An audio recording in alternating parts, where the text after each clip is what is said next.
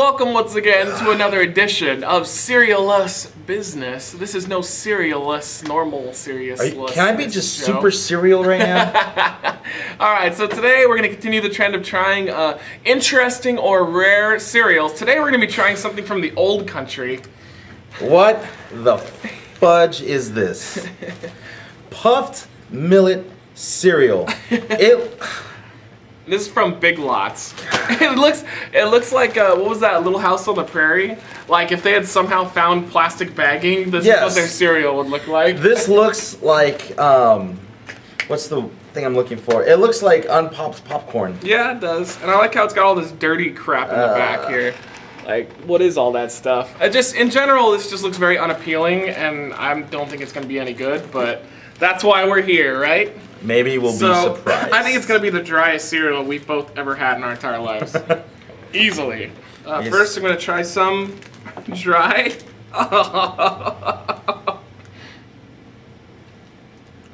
oh. What is this? I don't know. Is that a cereal? Oh, it tastes like uh, like smacks, but with zero no, sweet this, sugars. This is what it is. It's small smacks with nothing in it. nothing at all.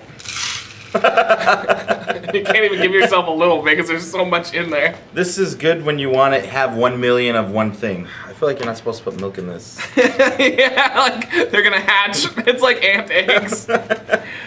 We're gonna do ant eggs one day too. They sell them. oh god. It's uh, it's like giant African ant eggs. Nope. Yep. Oh, you're gonna be there. Nope. Yep. All right, here we go. oh, I feel like that's too big of a bite. Oh god, dude, this looks so shitty.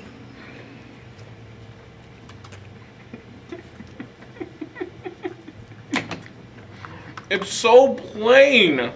You would have to add like four tablespoons of sugar. And even, oh god, it's so gross. It's just like Google has to pay me to eat this shit because this is terrible. they do. That's why I'm. That's what I'm saying. That's really disgusting. You know, it's not. It's not. it's it's not fu worthy, but it's definitely zombie apocalypse. Yeah, worthy. this is so it's like- a it's a one out of five. But God, they need to add some flavor to this thing. What the hell is this crap? A giant tsunami would not add flavor to this cereal. I love flavor could. Hmm. A negative one. no, I'll, I'll give it a. I'm gonna give it a weak one. Like it's on the verge of an fu. Bam! The unbelievable. It's pretty damn It's gross. really gross. Yeah, it's not good at all. All right, guys, we'll avoid this at all costs. Stay I- away from It's been at bagged- big, big Lots for a while. I paid a dollar fifty for it. I feel like I got ripped off. If you're a hobo, this is probably gonna be for you. No, but a dollar fifty is too expensive for a Hobo. They have cereals that are flavored that are only a dollar at, at Big Lots.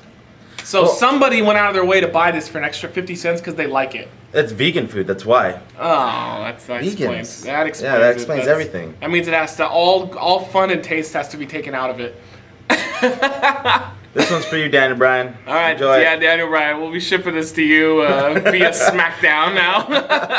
all right, thank you for joining us once again, guys. We'll see you as always tomorrow.